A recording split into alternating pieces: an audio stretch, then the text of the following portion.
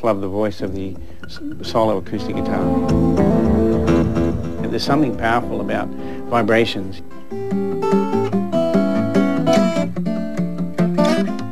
What we do, playing music for people, is a very important job in our life. It's good.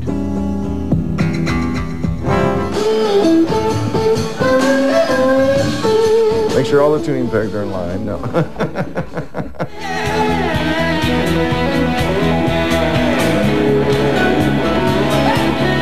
it really feels different mentally approaching it like this.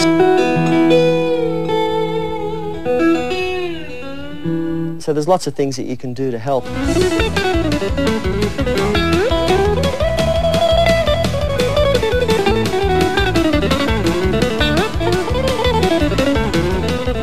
Hey everybody, this is Ben Harper here, and you're watching The Guitar Show.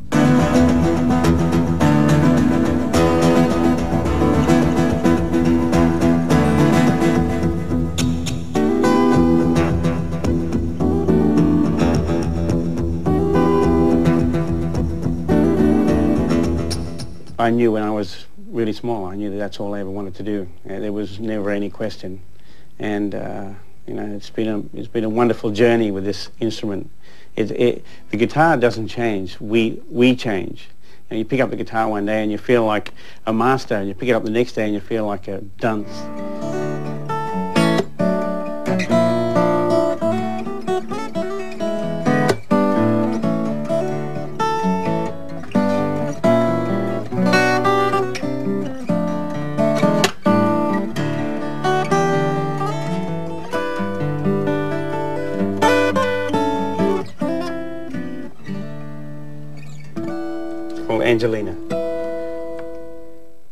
First thing I heard that I really loved was uh, Marty Robbins' El Paso, and um, that was a, there was a great player on that, um, uh, Grady Martin, and and and he had a had a beautiful style.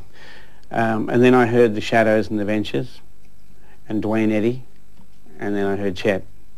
And by the time I got to Chet, it, it it just totally took me off on another direction, you know and forever changed the way that that I listen to guitar or, or that I listen to a song. You know, I, I learned about song construction, about uh, getting a tone and all those kind of things and, and having a quality control about your playing. I got all that from.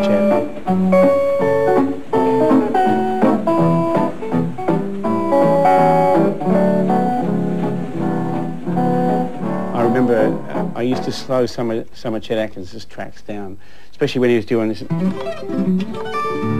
those kind of things, you know. Um, I just didn't know how he was doing it, and uh, so once I piled enough coins on the turntable and slowed it right down, then I could hear that he was and speeding it up, right?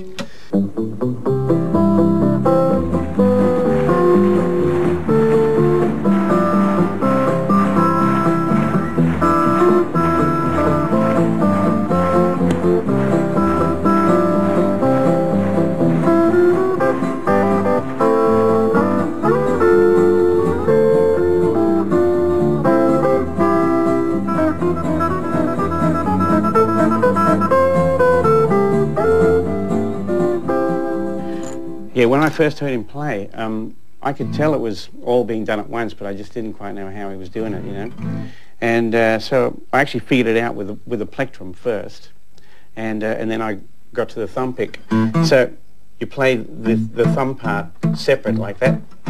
You should make a noise that resembles boom chick, boom chick, boom chick, boom. Okay, so you keep that nice and steady thumb there, and then you bring in.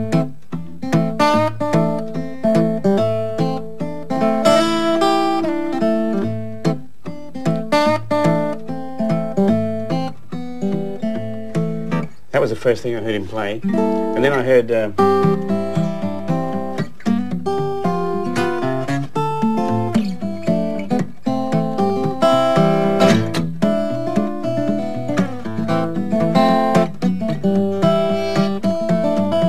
and of course there was, uh, let's see...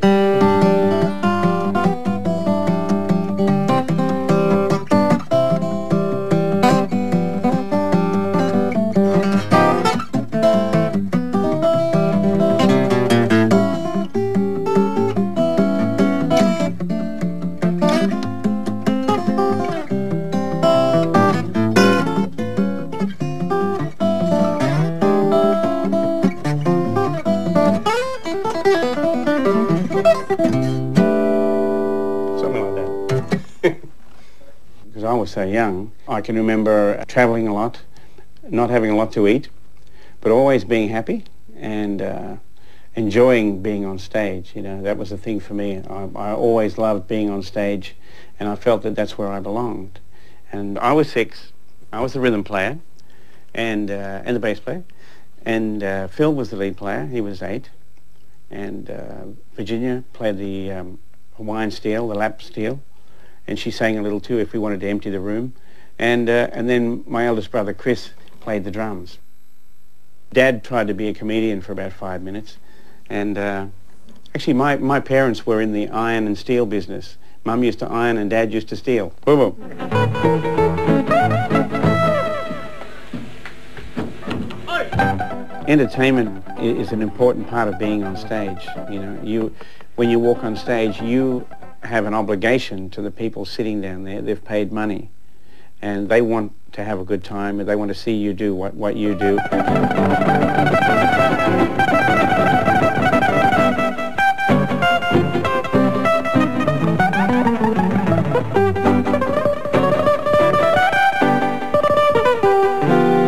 Entertaining people is, is uh, a great privilege.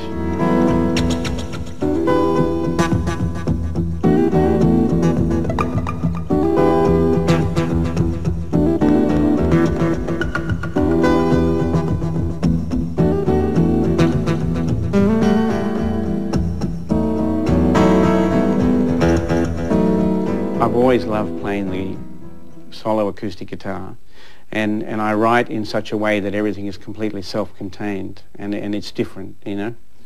And there's, there's, a, there's two reasons why I do this. And the first one would have to be it's so practical. I can jump on a plane with this guitar in a zip bag, fly to Germany, do a show, get on the plane and go back home. It's so easy, you know, and it's all self-contained.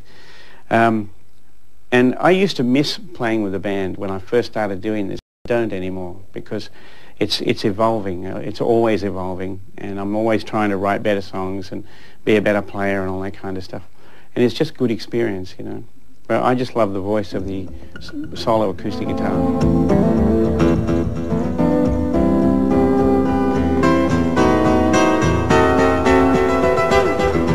I always go for a, a big tone and a big sound and, and try to coax the the the beauty out of the thing, you know. And and when I play like a ballad or something, I try to leave lots of space and leave things resonating against each other as a backing sort of thing, like a like a painting behind it, you know.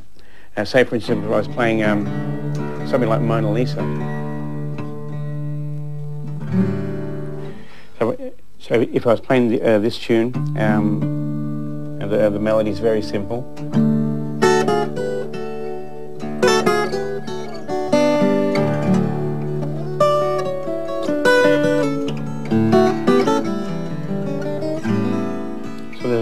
There's, there's chords going on there and, and there's melody and there, there's resonating bass notes and things like that.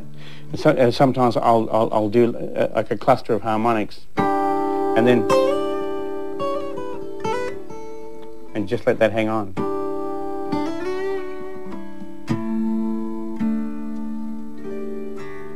Things like that, you know? I really, really love that sound. It's a, it, it's a, it has a particular beauty to it, you know, and you can add little things like that in the middle of songs, and uh, just it just adds all that nice stuff.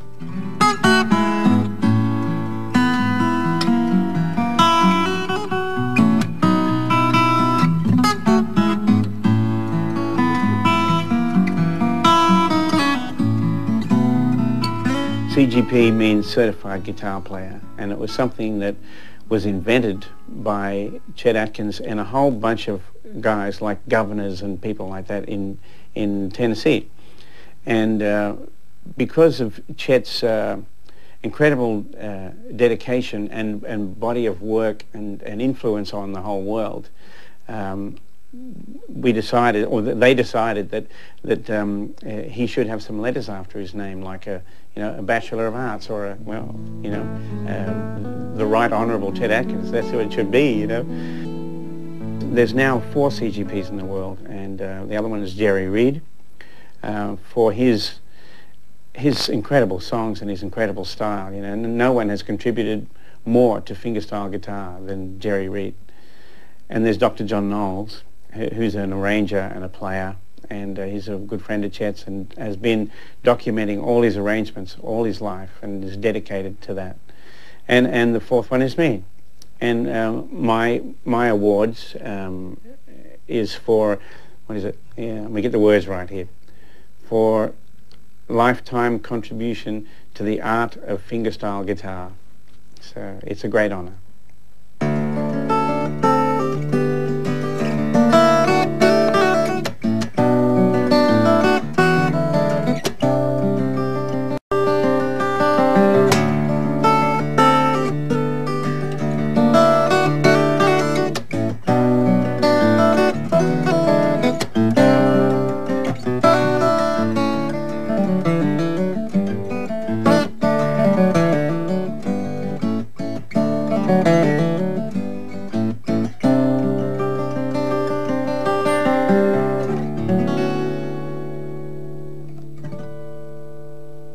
Think uh, because it's wood and wire and there's vibration going on there, there's something powerful about vibrations. You know, when when when monks chant, you know, and it's a very it's a deep vibra- vibrating sound that goes all through their chest and here, and that that uh, is said to to really connect them to the spirit world.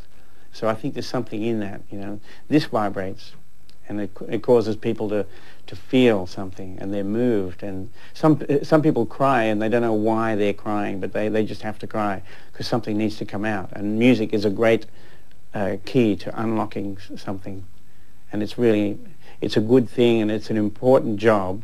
What we do playing music for people is a very important job in our life. It's good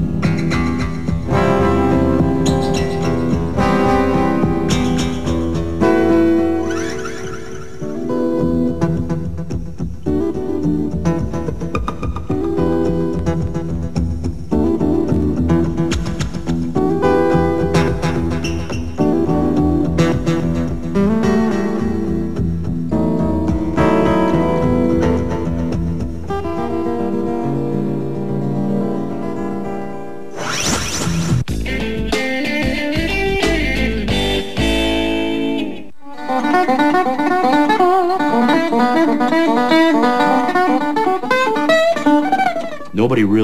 who invented slide guitar. Was it the blues guys or was it the Hawaiians? Um, I think if you take a human being, a taut string, and a hard object and leave them alone, eventually something's going to slide.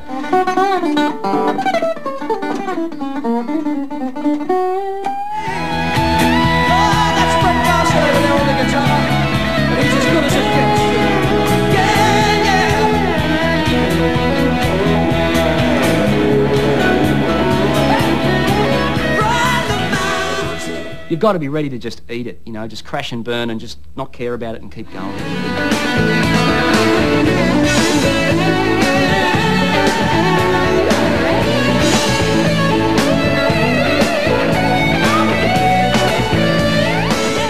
Like it can be an extension of your body if you want it to be. And I think it should be.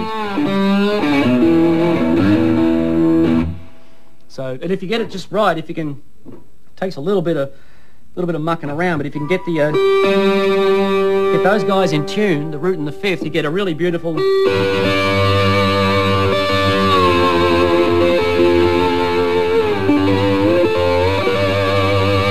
A lot of it's just it's conventional techniques, but I just I just kind of come up with my own ideas. So I uh, I sort of got into doing like almost pseudo pedal steel. So.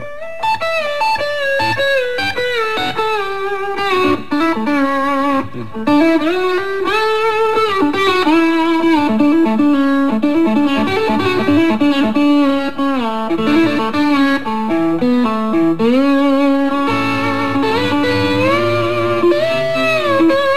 a lot better.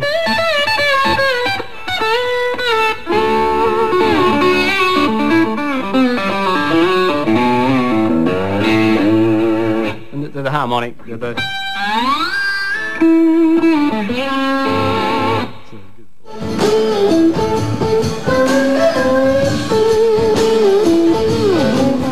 a uh, Sears and Roebuck's 5 8 Craftsman socket wrench.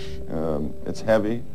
It uh, has a lot of, uh, makes it easy for sustain and so forth. Uh, usually at home, when I'm playing an acoustic guitar, I'll use a glass one. And I used to use glass um, all the time, uh, but uh, when I joined Little Feat and I started touring and stuff, I was constantly breaking them. So Lowell just came over and stuck a socket wrench at my finger and said, here, it'll never break, and if it does, they'll replace it for free.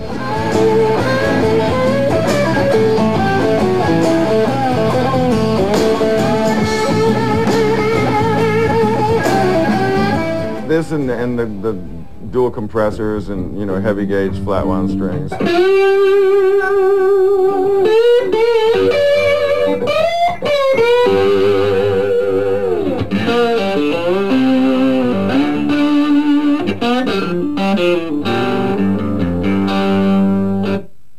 So it's, uh, you know, it, um, that basically is, is the whole secret to the whole thing, really, is heavy gauge strings, you know, a nice socket wrench, make sure all the tuning pegs are in line. No.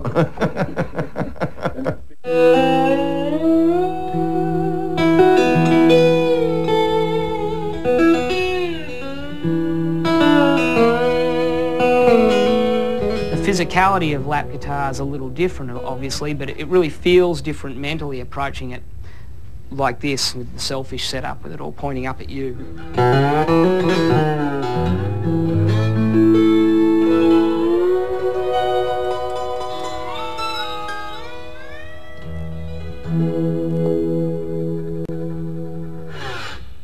Music that moves me and there's music that I don't get. and so you just look for the notes that move you and the stuff that doesn't doesn't do anything for you, then you're best leaving that out.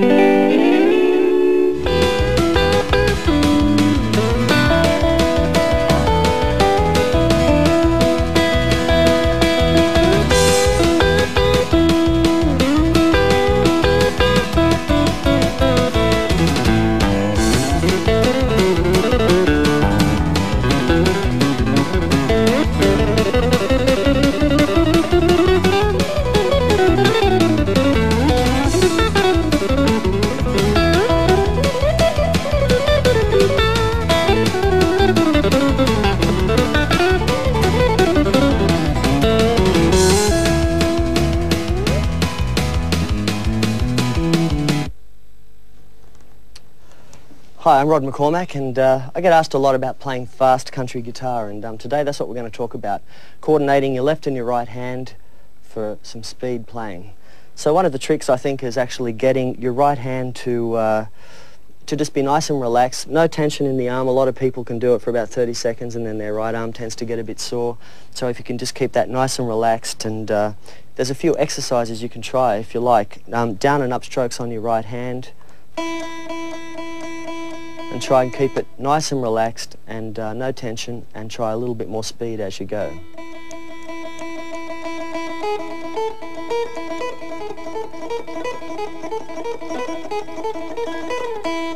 And things like that really help. I think one of the secrets is when you learn a tune, don't play it too fast. You should be able to play it at the slowest tempo that works to play it evenly through and then you can slowly build up your tempo. Um, one of the other things that I think you need to do is the coordination between your right and your left hand. Obviously at that speed things fly around pretty fast and um, your brain needs to be kind of controlling that about a bar ahead. The thinking needs to be ahead of where your fingers actually are and um, otherwise I tend to, I think that you tend to just you know play all the same old tried out licks that you've been playing for years and if you keep your brain just that little bit ahead you'll tend to uh, keep creating as you go. Um, so there's lots of things that you can do to help. I think playing scales is a really good thing. Um, ascending scale of thirds, which sound like this.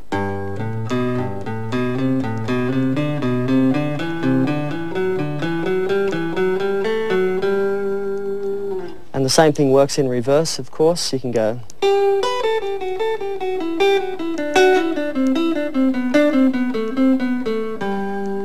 So let's see if we can't keep the left hand, the right hand with the brain and bar head. We'll see how we go.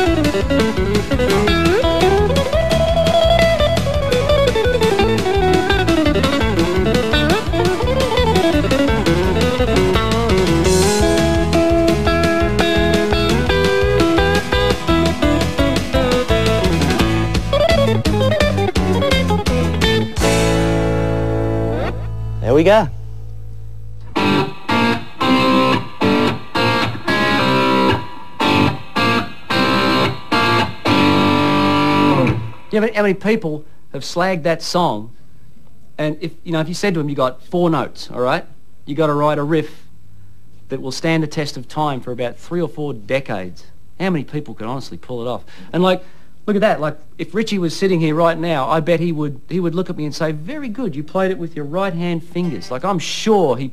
No, Richie never played it like. No way. It's like you got to really understand the mentality of the man and understand why he did it that way. So it's beautiful, beautiful. It's simplicity, you know. It's E equals MC squared. That's what it is. We